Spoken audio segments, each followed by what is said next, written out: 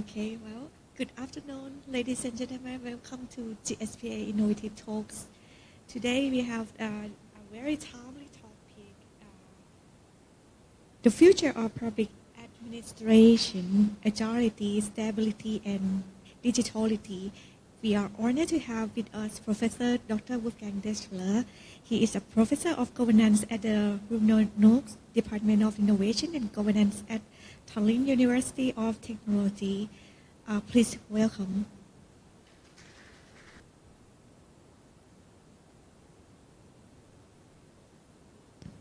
All right. So, uh, ladies and gentlemen, it's an honor, pleasure, and privilege to be here. Uh, it's uh, not a particularly crowded auditorium, but then, as I always say, I wouldn't go to a PA lecture on a Saturday afternoon either. Um, I do not overrate my own area, in spite of the fact that it is actually really, really important. Um, and of course, I, I, always think that NIDA comes up with the most ugly pictures of myself at all, but maybe the reason is only that they are not edited, whereas on our own social media, we all try to look like 11-year-old Japanese girls, right? So with the various filters, whereas I'm obviously not an 11-year-old Japanese girl.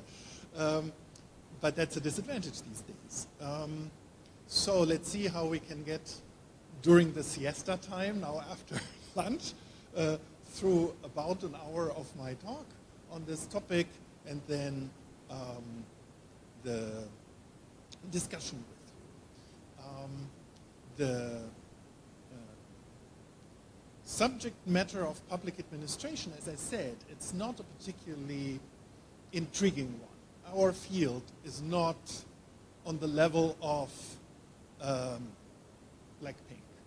It's not getting people excited. On the other hand, we do live in an administered world, both in this building and we walk out. We are in a world that is primarily structured by public administration and administration generally. And what we study is a paradigm that orders the world in which we live. So in public administration, public management, there has always been a strange disparity between the importance of the field and the attractiveness of the field. I like to say, even at PA conferences, that when normal people read a newspaper online and they scroll down, and there is an article about PA reform, they will scroll on very quickly. But they shouldn't, because it's really, really important. They also, by the way, scroll on when they see the word inflation. And it's not smart to scroll on when you see the word inflation because that might actually have extremely negative um, impacts on your life. Now, if I, I, I got this right, um, there are not that many Thais in the audience, right? You too? Okay, uh, three. um, then um, I will probably leave this unanswered, but one of the things I was, I was thinking of starting with is in the Thai religious context. Yeah, the classic Theravada Buddhism plus the local traditions that you have, there is actually a divinity for PA. And this is who? Because most people can't actually answer that. There is actually a godlike person who is in charge of PA. And there is a temple in Bangkok where there is a golden statue of him. But even people dealing with PA, actually, if you ask like that, don't know who this is. So it, it's harsh with you three. I'm putting you kind of on the spot. If it's like 30 people, it's more pleasant to ask this because you can hide amongst the masses. Um, uh, but um, I will not answer here who this is because it's a really interesting thing. But he is actually in the City Pillar Shrine in, in uh, there are four protective deities, and the fourth one is actually in charge of PA. Um, uh, actually, um, I, I, can say why not. It's uh, uh Bravo uh, uh, Chetakup, and who is um, an, um, an old Indian deity, son of Lord Brahma, who was put in charge of the record keeping of people uh, when they die. Because, you know, if you have a system where there is an accounting according to the uh, karma, what have you done, what have you not, both immediately and for the long term, you need to uh, keep every person's records of what they've been doing. And uh, this was even too much for Lord Yama, the god of death, and so he applied uh, for another god keeping the records. And this is where we, in a way, come from. What is interesting on the general PA um, level is that this person, so basically an accountant, uh, a divine accountant of what people did or not. And you can see why this is a PA deity. You know, this is an important part of what we are doing. Um, is um, an insightful figure because it tells us where PA comes from, but also two things. A, um, even no, no matter who you are, even if you are the Lord of Death, you might not have the capacity yourself to fully stay in control of all the records and all the administrative arrangements. And second, it is really important on an implementational side.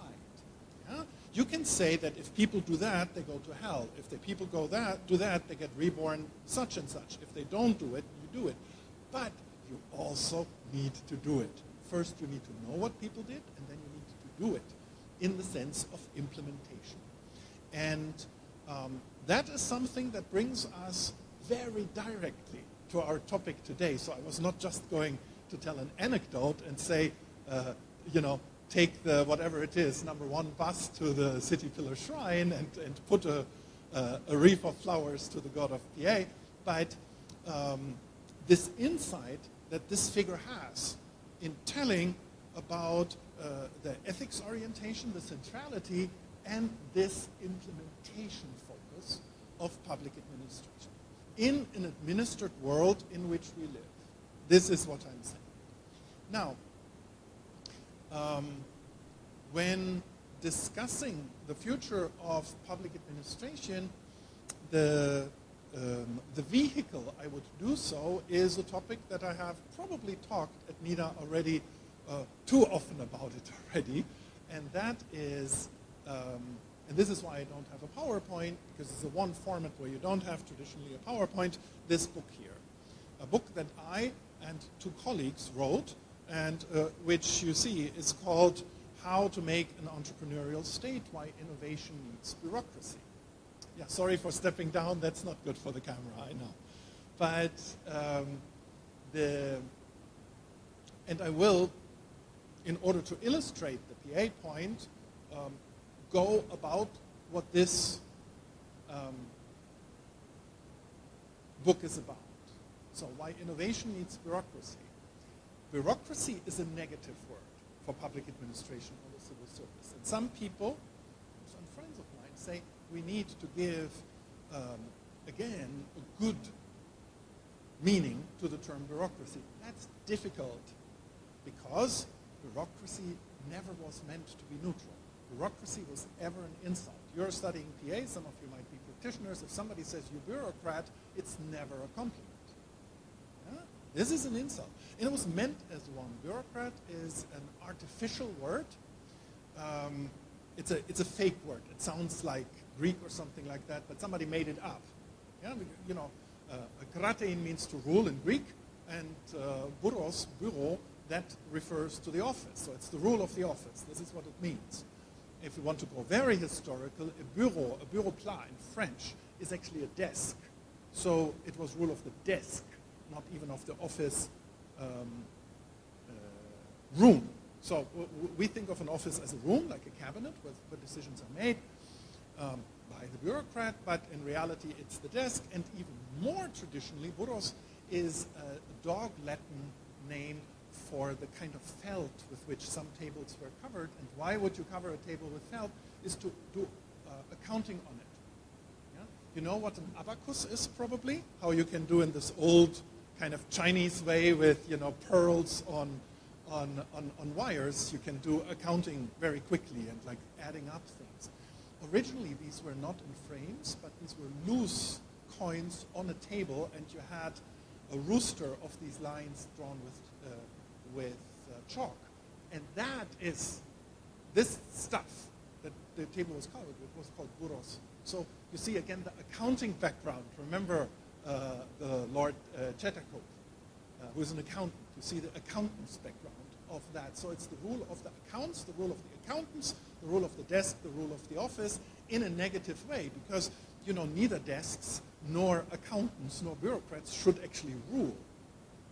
Well, ideally, it's the people, demoskratein, so it's the democracy, right? And then you have other various forms of that. So bureaucracy is not a positive word. But the other word is positive of this book title in our world, namely innovation. Innovation is one of these words that most people um, associate with positive things, you know, with the new, the technological, the better, progress, growth, and all of these things. Just like the word entrepreneur.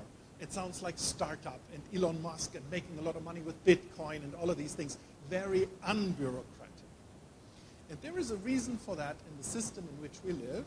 And if this is coupled with why innovation needs bureaucracy in order to make an entrepreneurial state, this is something where um, attention arises that publishers like to see because that way you can sell books. What is innovation? Innovation is uh, one of the relatively few social science terms that actually have a clear definition. You can't say, my personal feeling about innovation is this. You can say that about democracy. You can say that about justice. You can interpret, there's massive amount of definitions of these words. Well, they can mean all kinds of things. Um, innovation is a very clear term. It's clearly defined. There are some arguments about it. There is one person who actually defined it, an Austrian-American economist by the name of Joseph A. Schumpeter. Um, and what it means is to bring something new. We think normally about products, can be processes, can be marketing, can be financing models, anything into the market process successfully. If it fails, it's not an innovation. Failed innovations are not a thing. Um, that is highly annoying to people who focus on value because they say that doesn't make money, but it adds value. But we never know what adds value, although, as you saw, the um, institute I'm from at University College London is called the Institute for Innovation and Public Purpose, and this is all about the concept of public value. Now, um, what is so important about innovation? The thing that is so important about innovation is that these innovations, bringing new things into the market, is not only important on the personal level, where as an entrepreneur it can make a lot of money, but also for the government as such, for national systems to stay competitive. Because technology changes the economic landscape, and if production doesn't go into the direction of the new techno-economic paradigms, that means paradigms of specific technologies that are different than the ones we had yesterday, and in which a lot of money is made, then that is bad for the country because the country makes less money, is less competitive, sinks down, can pay less social fees, and so on and so on. So it's extremely important for a country to be innovative in order to stay competitive with other countries. And the more top your country on the list is, the more innovation you need. Because um, what makes the top achieving countries in the world, the classic first world plus the Asian super performance, right?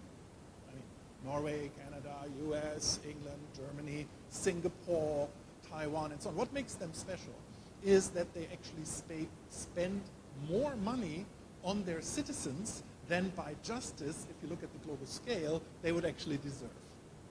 Therefore, they need to be more productive, and only make more money than you actually per capita deserve if you have um, a strong position in an innovation-based capitalist form of government. That is the reason. So it's actually more important for Germany to be innovative than for from supplying super welfare to its citizens. It should, but it doesn't. But Germany does And you know, when people have gotten used to free healthcare and the beautiful infrastructure and they lose it, they get very upset. And that makes the government unstable. Therefore, the innovation imperative is therefore the top countries as well.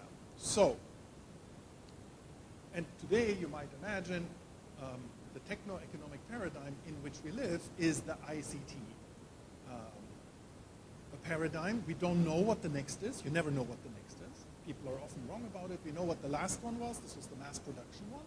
And today, you need to either be very strong in the digital world or you need to digitalize older industries. For example, be strong in the digital world means to make smartphones or software. To upgrade means you have a good car industry. You can keep the car industry, but you need to digitalize production, marketing, financing, and so on. If you don't do it, you fall behind. Now, what I've now explained to you, and um, whether one agrees with that or not, most governments and international organizations agree with the theory I've just told you. What I was now talking about is, as I'm sure you figured, this is economics. This is not PA. It's classic economic policy. That means what I am saying is it is the role of the state to design innovation policy that is helpful for the country or whatever they're in charge of and their citizens. And that goes against the real radical free market guys who say, let's just the business go. But the problem is, business people don't know what is best for the country, and there is no automatism, if, even if you're a free market radical, that people will behave in an innovative way as entrepreneurs that is good for the country. So direction needs to be given, direction that needs to be given by the government is innovation policy. So, but what I've told you, how to nudge uh, a country into the right direction of industry, to go digital, to do more this, to do more that, to do tax incentive for startups, uh, to um, invest in education that concentrates on the current or future economic, the techno-economic paradigm, very few people these days are against that. There are some radical free market people, and there is, of course, the degrowth people who would disagree with that, but basically most countries and most international organizations agree with what I've been saying. So, now, remember what I said about that guardian of PA, uh, Lord Chetako. We are talking about innovation policy. But here, in a PA environment, what we need to realize is that how do you actually do that? As I like to say, for, for 60 baht and an innovation policy, I get a nice time of. Meaning, policies are actually what? Worthless. Because policies can be written on paper or posted online, but they make no difference whatsoever. A policy phrased as a policy has no effect whatsoever. It's just words. It's just like a song, where songs make money and policies, at least uh, if they're on paper, usually don't even make money. They're just there. They are just what people uh, regard. And that, by the way, explains why we have so many countries with beautiful constitutions that do not get implemented at all on the everyday level. Um, the uh,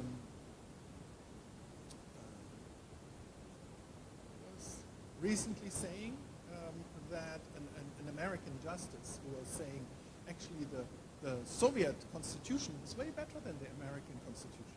Way more free, way more liberal, just it wasn't implemented at all. And so that you get a lot. So you can have a lot of paper, but it doesn't happen. What, uh, uh, in a way, Lord Chetako reminds us of is that you need to focus on the implementation.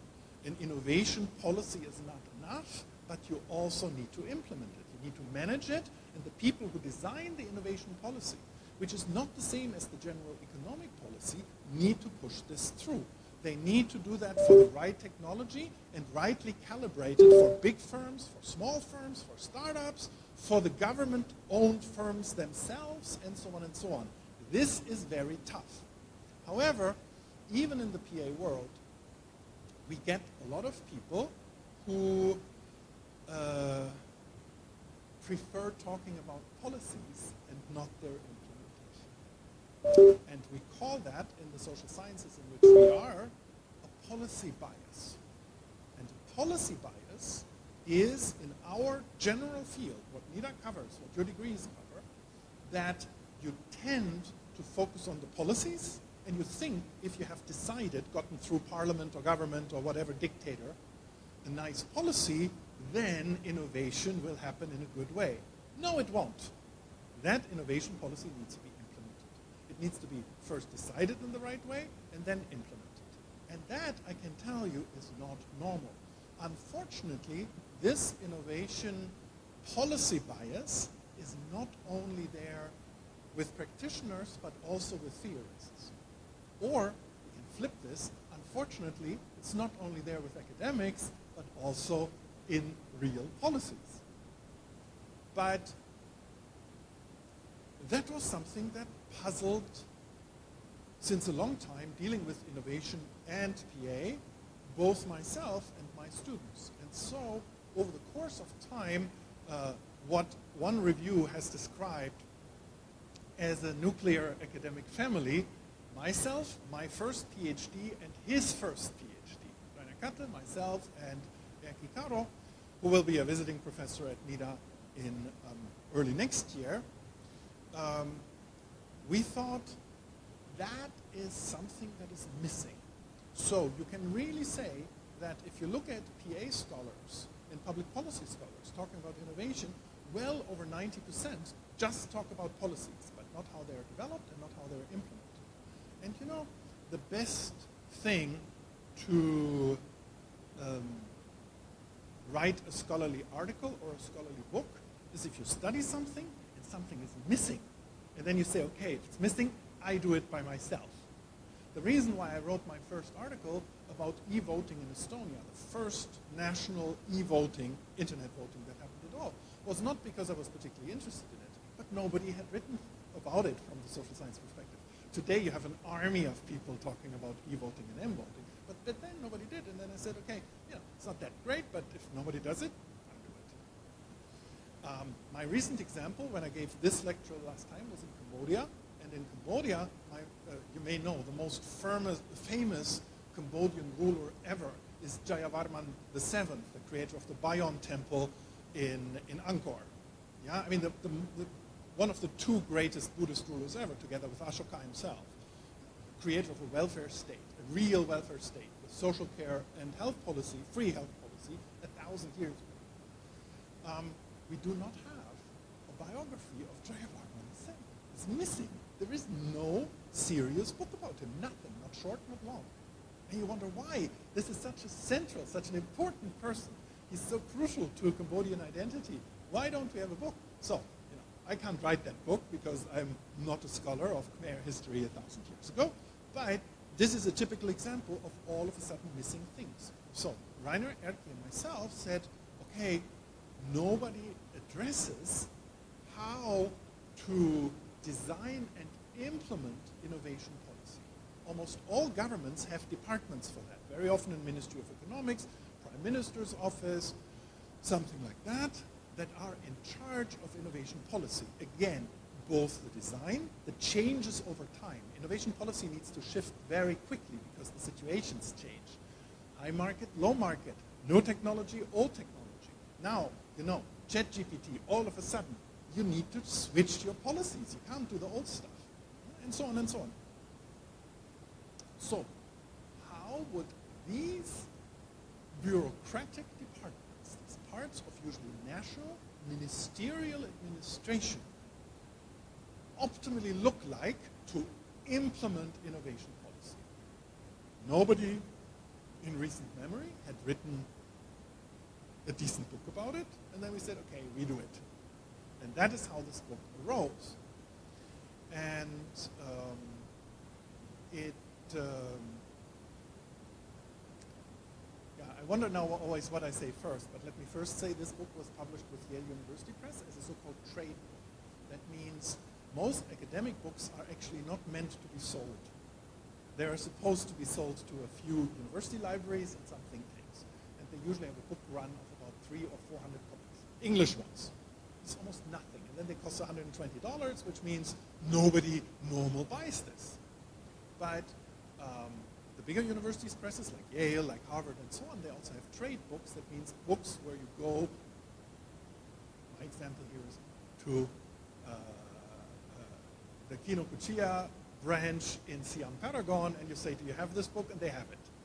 And they have this book.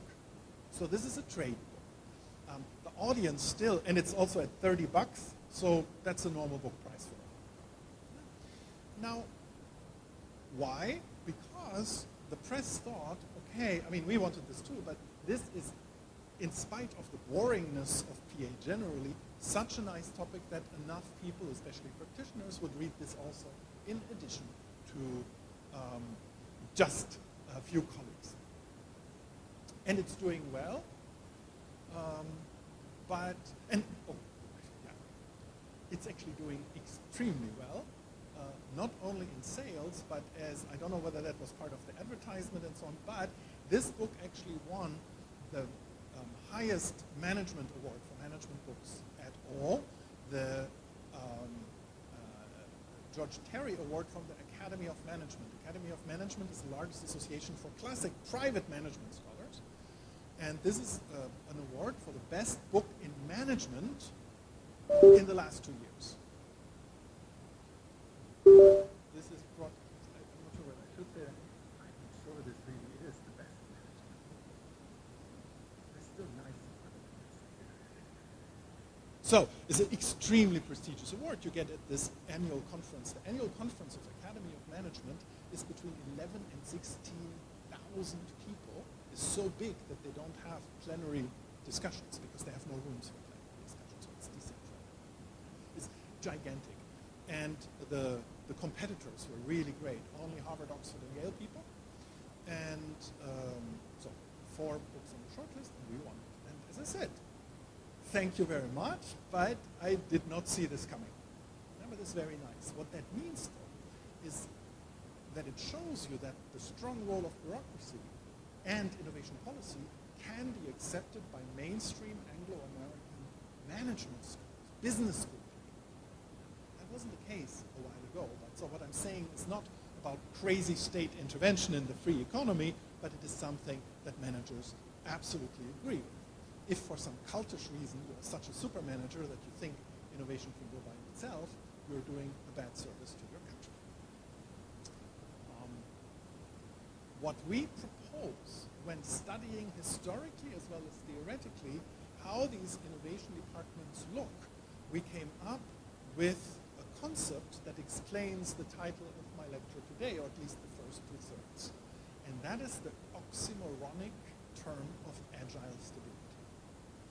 Innovation bureaucracies must look agile and stable at the same time, and they also need to be agile and stable at the same time.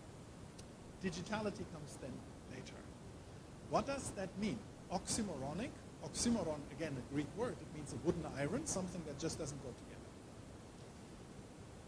Agile stability means that this is an office in which the bureaucrats need to act generally keep the important value of things, be sure that everybody gets the same, typical for the public sector, in times of quietude.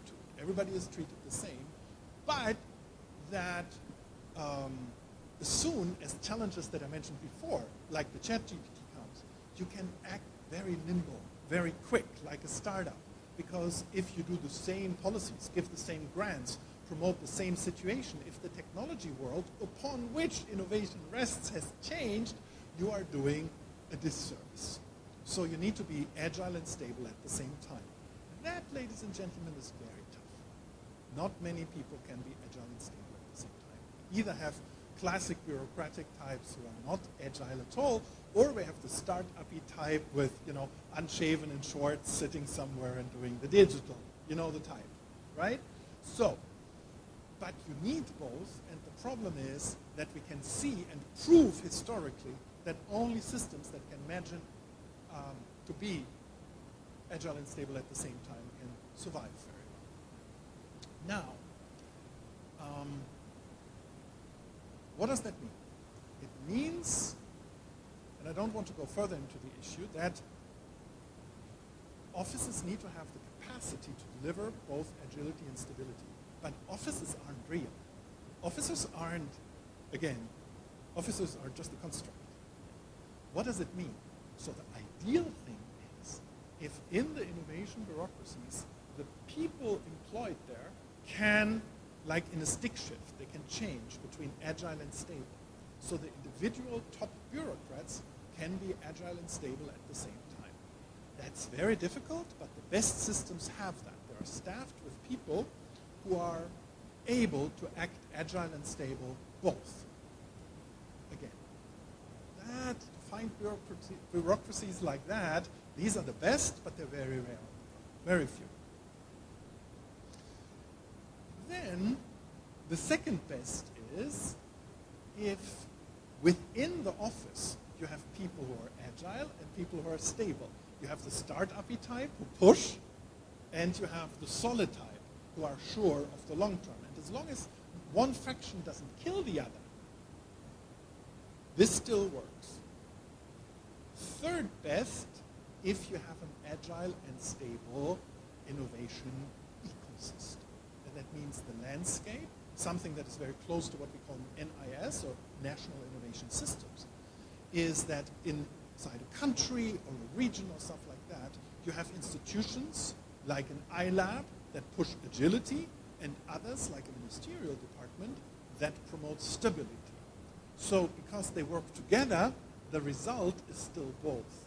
So ideal inside the people. Second best inside the same organization. Third best ecosystem. There is no fourth best. If that doesn't work, you just don't have a working innovation bureaucracy. But so this is the idea. Now,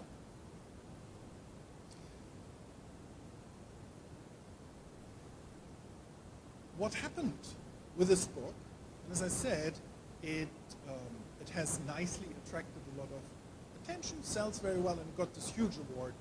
So, so it's a success as a book, if you will. Um, is that people have taken this, not we, we really wanted to talk about innovation bureaucracies, but the readers have said, wait, this idea with the agile stability also applies to bureaucracies generally, not only to innovation bureaucracies. So all the story I've told you about innovation, uh, some people have said, well, it's the same about social policy, where you need more stability than agile. It is the same about um, defense. Uh, it is the same about even hu uh, human resources, um, where you need to be able to um, react to the challenges of our time, which seem to change faster and faster. But you cannot gamble with the people's retirement benefits. And you need to be sure that they're dished out in the same way.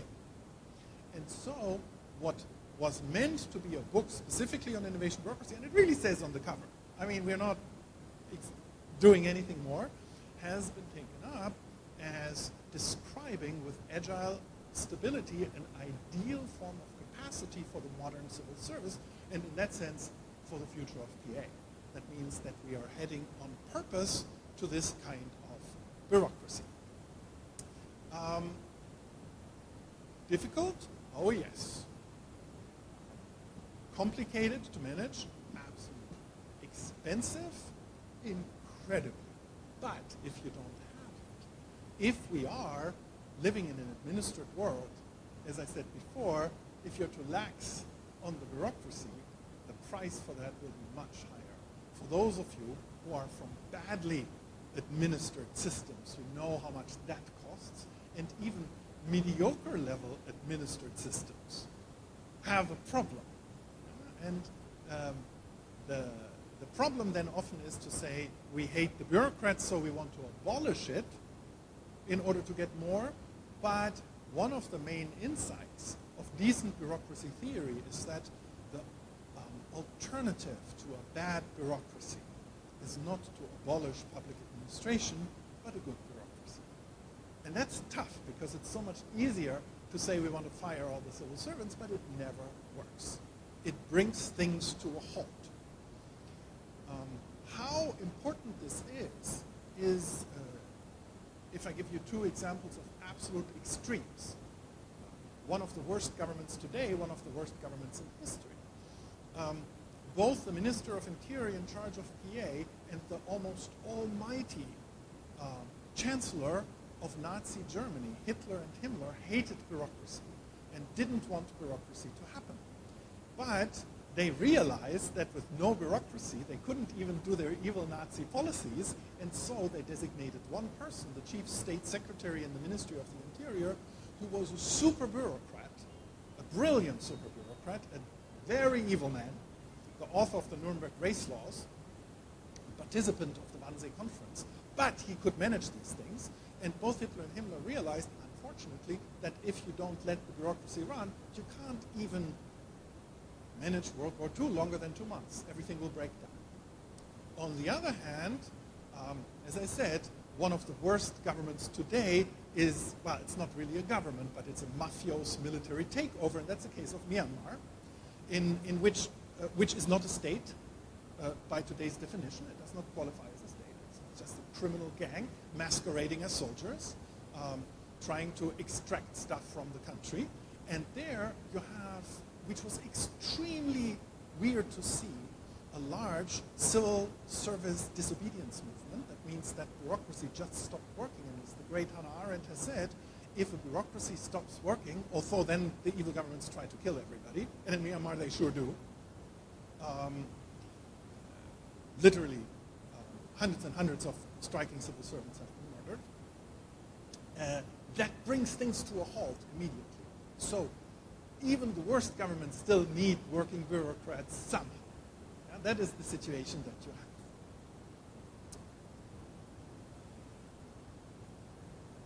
Third point, digitality.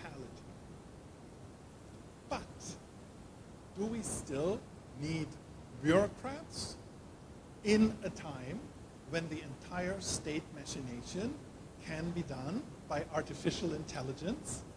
Don't we just, if we want to have a really good innovation policy in Vietnam, need to put it in in ChatGPT and say, what is the optimal innovation policy for Vietnam?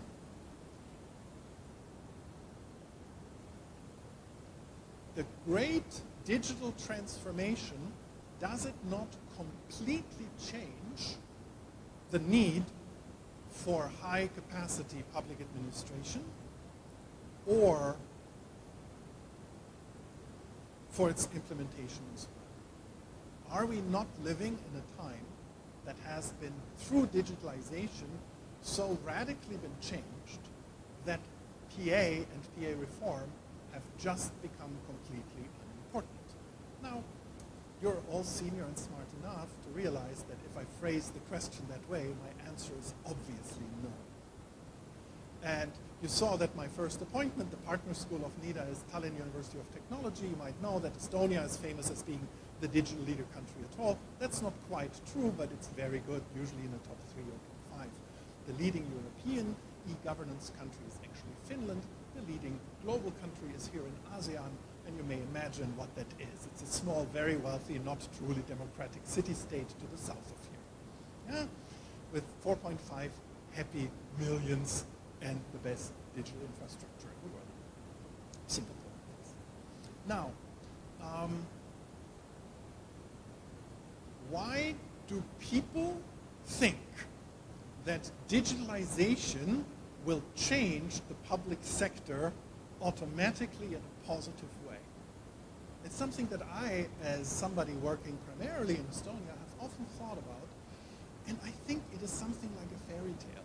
It's something like a promise. You don't have to change the government. You don't have to become democratic first.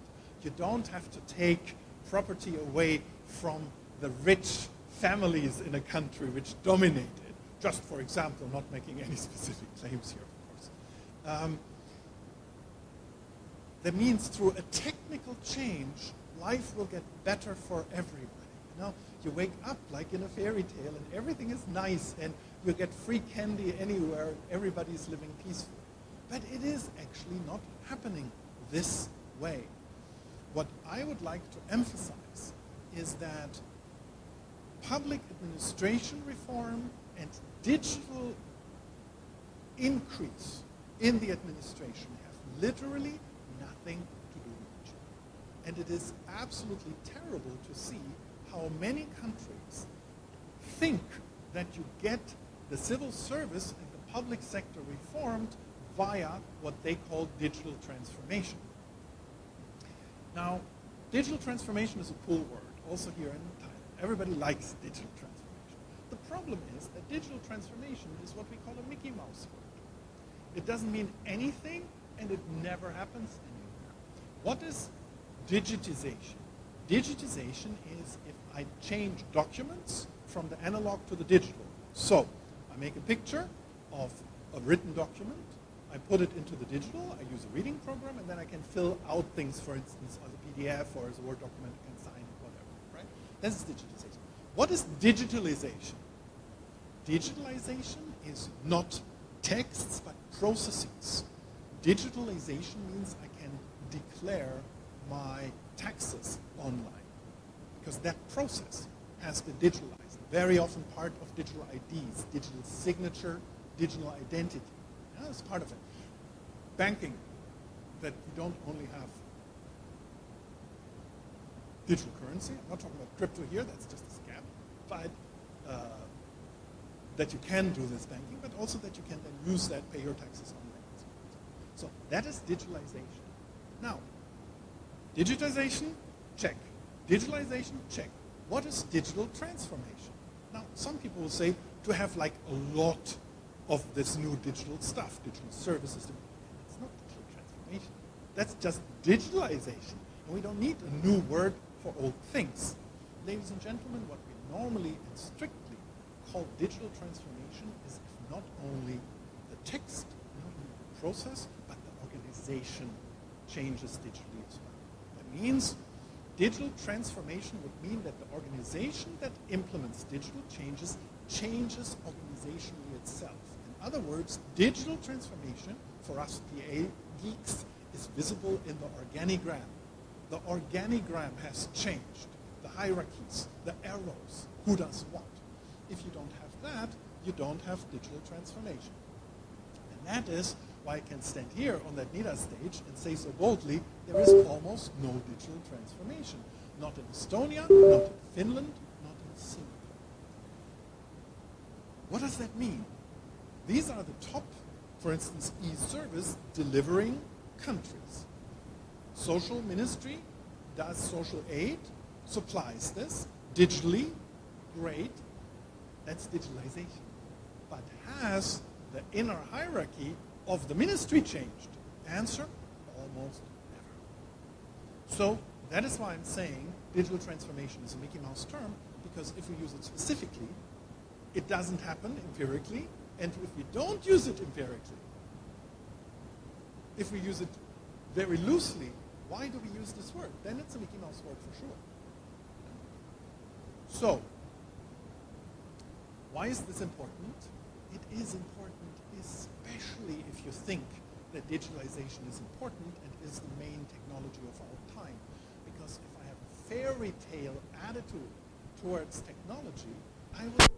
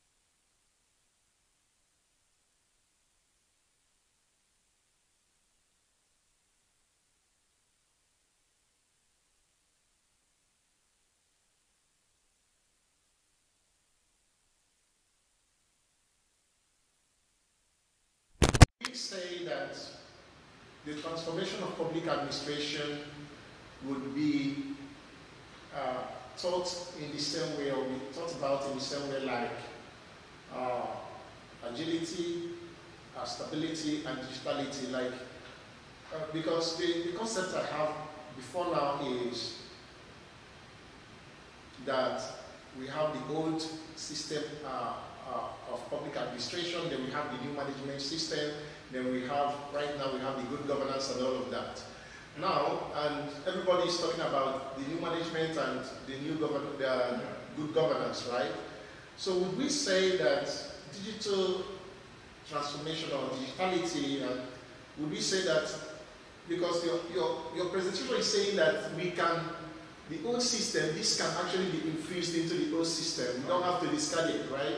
So where, where does the good governance uh, system coming? Like, is it, do we have a way to like balance all of this? Okay, so because these are big questions, I will address them before, I will not collect. The first one, uh, let me say, uh, and then I will go for the second for a mini lecture. Okay. Because um, well, that's really necessary also in this context here. So, well, just to say this very clearly, I'm a German. I'm a German citizen, I grew up in Germany, and I define myself as a German, I'm not an Estonian. I'm only a professor in Estonia since a very long time, and there was a time in Estonia where over 50% of all PhDs in digital government were my PhDs. So I've been really been there. I, I arrived in Estonia before they were digital.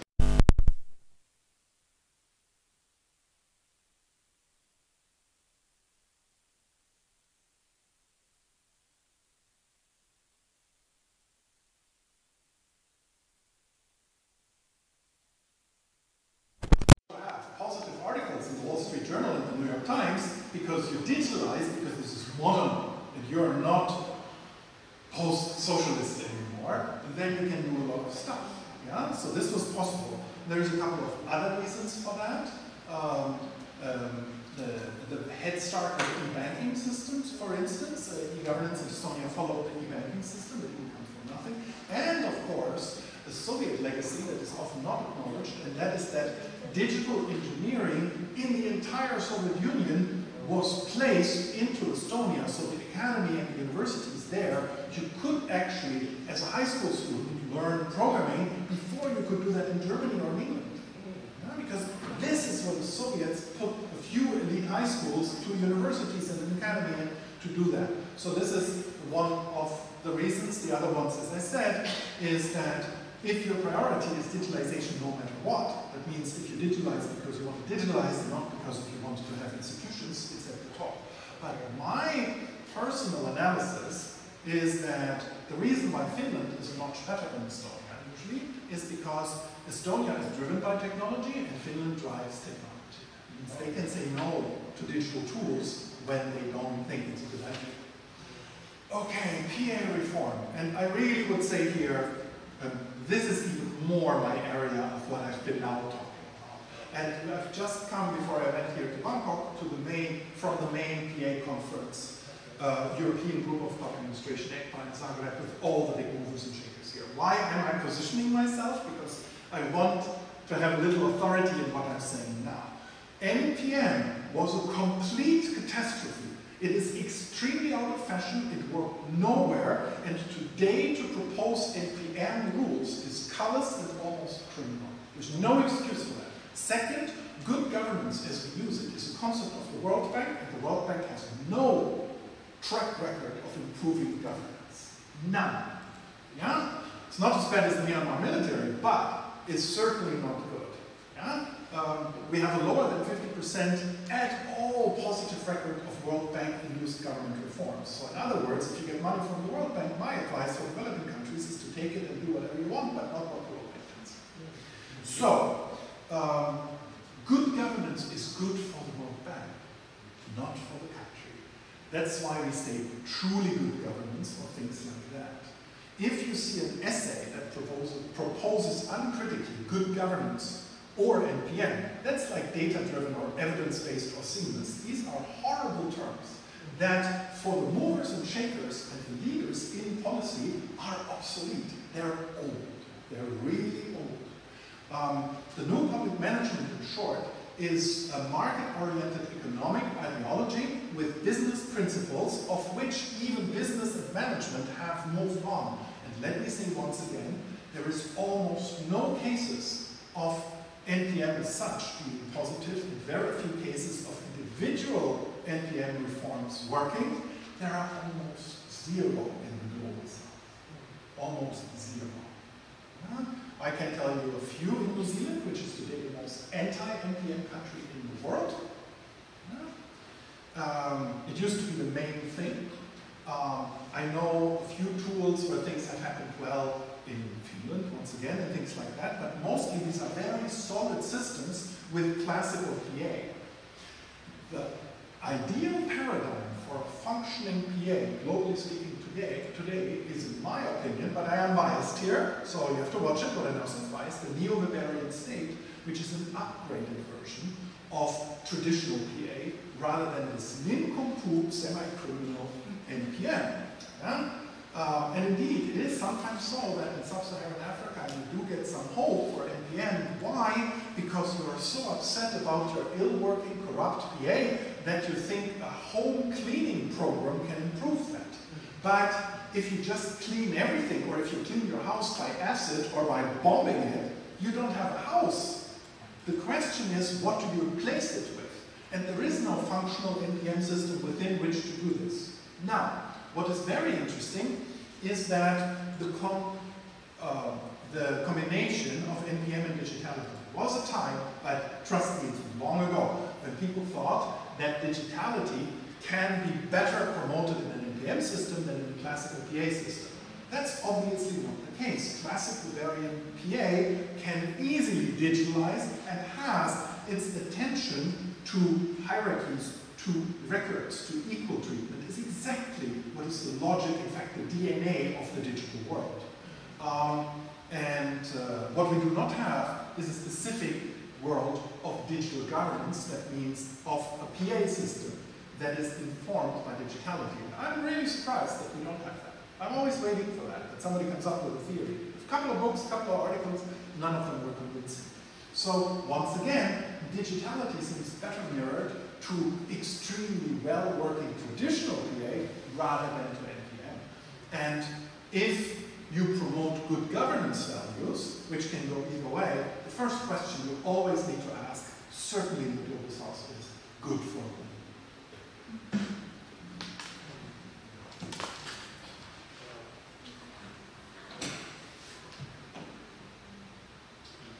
More questions? Oh, yes.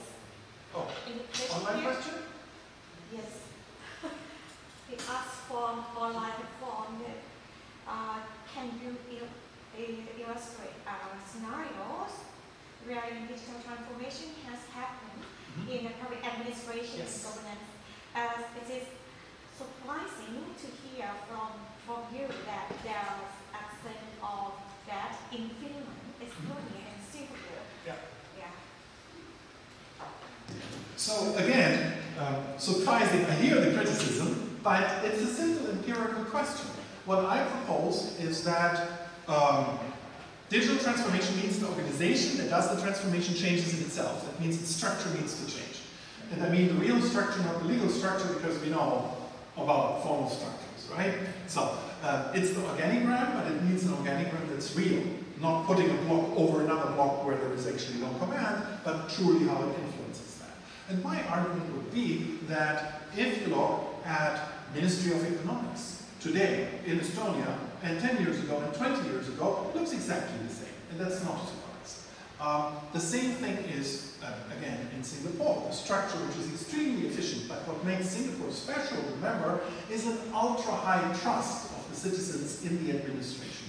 We have that nowhere else, and this is a typical hallmark, by the way, I may make an NWPA Confucian systems. In the West, you never get that much trust. Yeah? Only in Confucian systems do people say, have an almost religious attitude towards the PA and say, you go ahead. You know, that Mandarins are basically having a mandate of heaven. That is very special.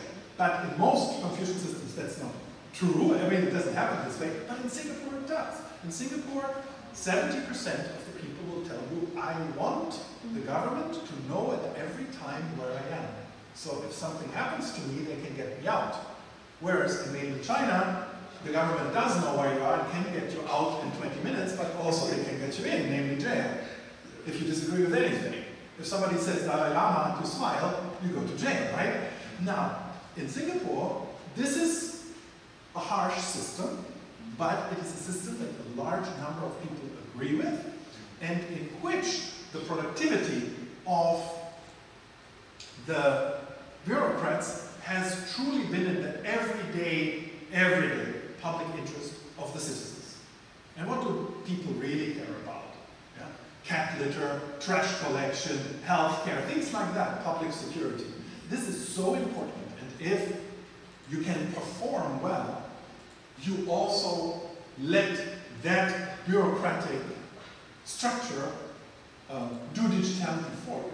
So they're allowed to experiment and do stuff in the public interest. They don't need to prove all the time that it works. So, and this performance is, is just really good. Um, in Estonia, it's more difficult to say because Estonians would love to say, look, we had real digital transformation, but they don't. Let me, however, say one thing. The last master's thesis that I advised in Estonia, I usually focus on PhDs, but this was what I did, is with the Chief Digital Strategy Officer of. And she wrote about what Estonian movers and shakers, that means key stakeholders, think when they say digital transformation, because she's in charge of doing the digital transformation strategy. And what I find interesting here is, and I can say that without leaking anything, that um, amongst the eight key players, there is no consensus of what they mean. So, there is no functional consensus. And that's very important because, I mean, it's good that you wrote this thesis, now it's part of the strategy, that can they agree on what digital transformation actually is. But, so it is extremely difficult to say, but if in Estonia, the eight main people can't agree on what digital transformation is, how would anyone else? Yeah? What kind of concept is that? And that is why I'm so careful, as I'm sure you noticed, to say this is what I mean, and it's a very strict definition of digital transformation, namely it needs to be organizational. Otherwise it's a useless word because we have words for other phenomena. But again, it's really important for me to say not everybody agrees with this. This is however what I propose. And now it was also asked to give concrete examples. So we do have a couple of um, departments, offices, places in ministry where the organization did change. Means where you got more lateral. You, um, I mean, Manuel Castells, the great sociologist of the internet who came actually up with the name of the Network Society. That's his invention. Three-volume book about that, and then Communication Power, the great book about what it means and who dominates the social media sphere. Um, uh, he, is, he is talking exactly about these kind of transformational issues of what it can uh, possibly mean in, in this background. What you do get is a change in organizations with a tendency, I find that interesting, to um, deal with uh, finance and money. And part of that reason may be that uh, the one place where radical quantification and numeral orientation is necessary is obviously in the finance world, right? It's the one thing where quantification can never be denied, even if you would be against that. And so what we see is that we, for instance, have tax offices where the actual interaction between the hierarchies has changed. Again, what I meant with Castells is Castells says at one point that if you look at the network, and you take it in the middle and you lift it up, it looks like a pyramid. That means very often networks are actually not really networks, but hierarchies again. So you have to be extremely careful. But we do have, including, for instance, in Estonia, um, units in the customs and tax office that have changed their appearance.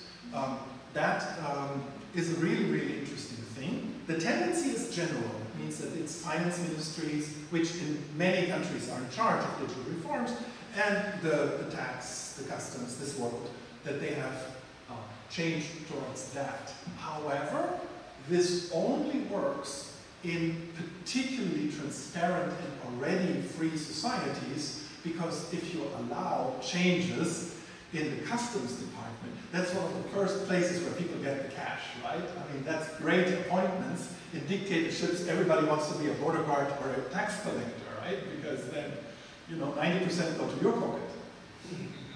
So, and, and this is why it's not there. You can only allow changes in the fiscal administration if you're really sure that everything works by the book. But where this is the case, we see such uh, transformation, tendentially speaking.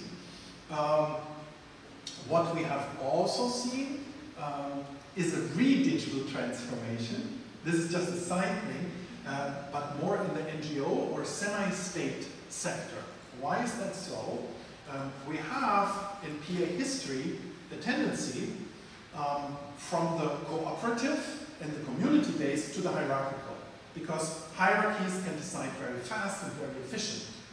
Um, think about, for instance, that all military is hierarchically organized, although we try to move to a more network thing.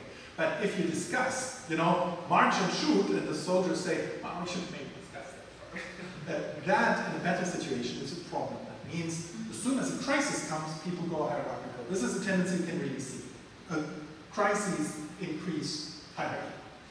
Um, but the question is, is it a good hierarchy or bad hierarchy? That's what I would say. Still, we had certain cooperative mechanisms of administration of property, of land, of public service provision that became obsolete because in a differentiated society of the mass production paradigm, late 19th, early 20th century, uh, this that everybody needed to get together and discuss things just didn't work anymore.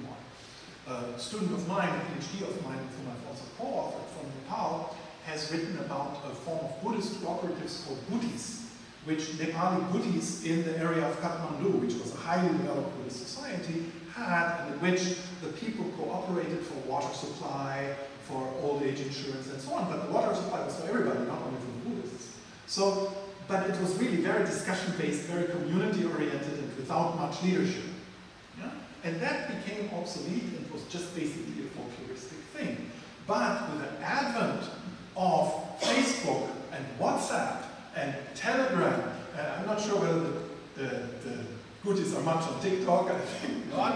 I mean, there's, again, no, no 30 second clips from, from Blackpink or whether the Buddhist move. But um, this kind of cooperative, deliberative way of supplying public services all of a sudden is very efficient because you just ask a question, you have a push message, everybody decides, and we can go. So um, this is a re-digital transformation or a digital re-transformation in that we go back to an older system that, however, was for many people a better one because cooperative governance, as you know, gives you a lot of meaning, a lot of identity. It, it, it in peace times especially, makes for a very beautiful world.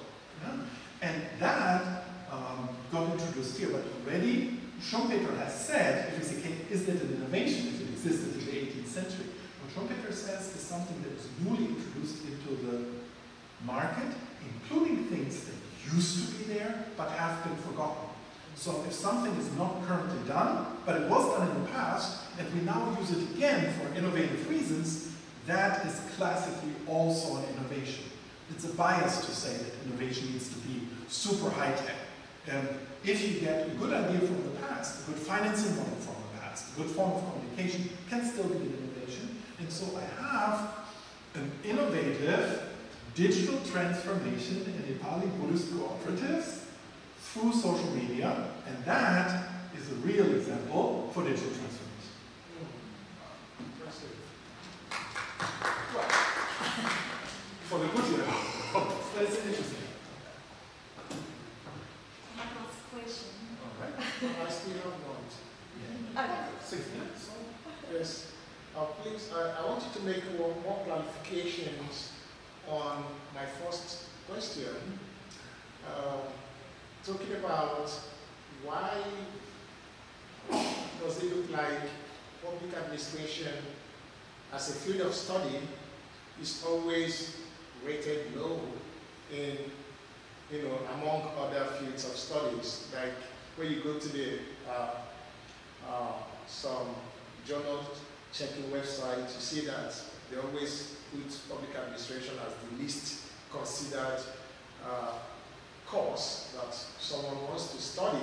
All right, so there, there seems to be like a low interest uh, on this. Uh, okay, so why is it so? Like, does it mean that there's something we are not doing okay? All right, talking about cooperative governance too. Is it the same thing like open governance? Because uh, uh, uh, in my country, for example, I keep using that as an example, we, we've seen a situation where the government uh, the policymakers are highly influenced by uh, tweets, uh, Facebook posts, and a lot of that. Like, so would we consider that a kind of digital transformation or digitality or cooperative governance? Like, I wanted to clarify on this. All right. Uh, so, as long as the politicians get elected the same way and so on, and it's just a form of communication. This is a communication innovation, but not yet a digital transformation. The digital transformation would be if some duck-faced influencer becomes deputy minister. yeah, and we're not quite there yet, although some people are working on it, of course. Uh, that's, that's indeed the truth. Um, you did have um, a fairly radical incursion into this field in Taiwan, for instance, yes. with Audrey Tang and stuff like that, but that is just in the digital field in itself. Yeah? So um, it's, it's not uh, an overall one. I would challenge your assumption that PA is always at the bottom of the interest list. So this is often the case, but as you said, it's, and as I said, we also need to face, our area is not particularly sexy. yeah, we are, this is, PA isn't that cool. And if you say, I'm studying PA, a lot of people whom you meet in the bar will say, oh. Whereas, um, and this kind of solidity, you need to be a little bit older, and in a culture that is called kidult, that means in which adults behave like kids, uh, where we use optical images. Again, TikTok is for children. Yeah? Um, Hello Kitty was designed for four to seven year olds. Today, it's the main brand for a certain group of females all over Asia between 23 and 27. Yeah? So we are, we are behaving like small children. We dress like children. This entire idea of the leisure suit, jogging pants and hoodie. That's if you're 14, you're already too old for this. And yet, all the startup people do that. So this is where the digitality comes in very, very importantly. And the more you live in a youth cult society, the more this digital stuff is really important. And there have been changes in this also because of the techno-economic dominance of the digital the real big money, which so many people really want, is to be had in startup. Look at the value of digital firms and look at, I mean, ridiculous, embarrassing basket cases of people like Elon who are still a hero for so many people. And you look at this guy and you say, you want to be like this? Obviously a failed human person. Oh, that was not very Buddhist thing to say, you know what I mean? But, you know, a highly troubled person, I think I can say. Um, on the other hand, look at um, Taiwan, as digital as it is, with this extremely high demand of people taking the civil service exam administered by the examination yuan. Taiwan has five branches of government, one of them is PA. It's administered by a special super ministry where you get in, classic Chinese thing. Look at the traditional case, uh, Francis Fukuyama at one point says, in Imperial China, only meaningful career was the civil service. um, for a very long time, the very top achievers, who have top officers ranked, went to Oxford, went to Harvard, went to MIT, in Singapore went into the civil service. Today, this is only the second choice, just like in Japan, but it is the second choice. First is international finance institutions, because you earn even more, and it seems somehow cooler. But still, I think it is fair to say that in Taiwan, Japan, Singapore, the number two career choice is civil service, and the number one study, the number two study field would also be PA. These are super high performing countries. Um, traditionally, the number one school in which you could study, the ENA, École Nationale d'Administration in France, is the PA school. The very, very smartest people in their field study as the first graduate school after the first degree, study PA. Just examples like this. So, um, uh, the problem is that the image of PA is specifically low in the United States, and the United States has the most PA schools. But American administration is actually terrible. It's below mid-level. America is not well administered, but it's so powerful that it can manage that, and it has some extremely good places of PA, including innovation bureaucracy, which is top. But normal state and local administration, in the US, people who study PA are usually those who try to get into law school and got rejected. And so they go for an MPA. Yeah, so it's bad college progress. And that, with all the American cults, American movies, American orientation, makes us look at PA as a sorry place. And it is indeed true that um, there is a tendency of people getting an MPA. You can't get a BA in PA in, in America. In Estonia, for instance, you can, but in America you cannot. There are no undergraduate degrees. And if you were bad in your undergraduate education and couldn't get anything better, you may study PA. That is a problem for our field because the top PA professors are American, and so our field is extremely American-centric. 85%, mm-hmm. not anymore, but a while ago, of case studies in Korean PA textbook were from the US, or for Korea is way better administered than the US. And that's a post-colonial phenomenon in the end, right? The Anglo-American dominance, although they're not even that great. So this is the situation in which we are, and it explains a little bit what you've been saying. Thank you. And you have, oh, okay.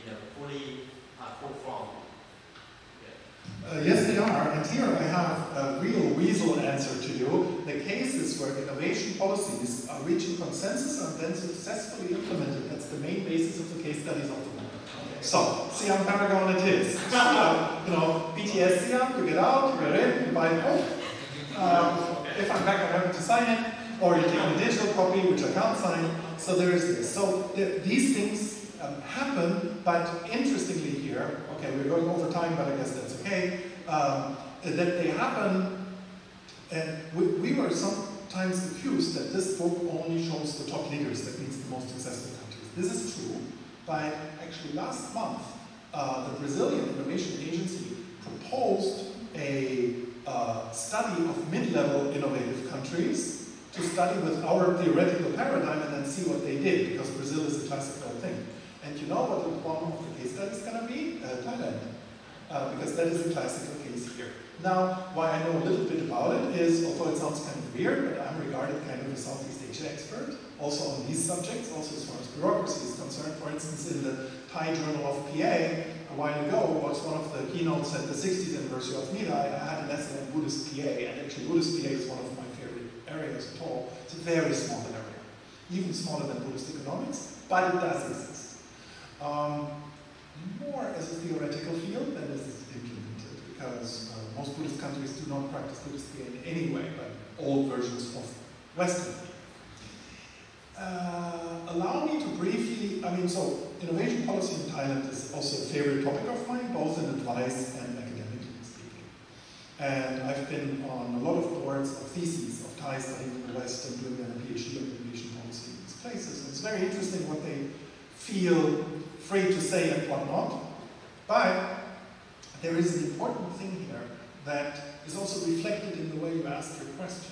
So what I think is that the top players in innovation policy and practice in Thailand, absolutely, you're right, are at the top level of the discourse. They do know that. The key directors, the, those ministers, not all ministers, but there are ministers for this, economics ministers and so on, who know absolutely this. There is, they have nothing to learn.